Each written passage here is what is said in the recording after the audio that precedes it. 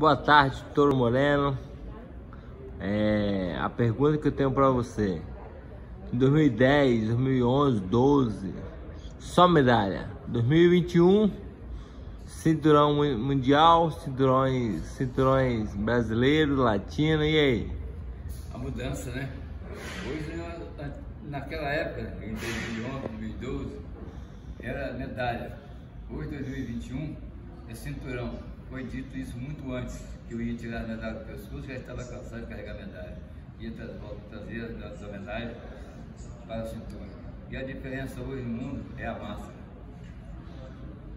E planos para o futuro?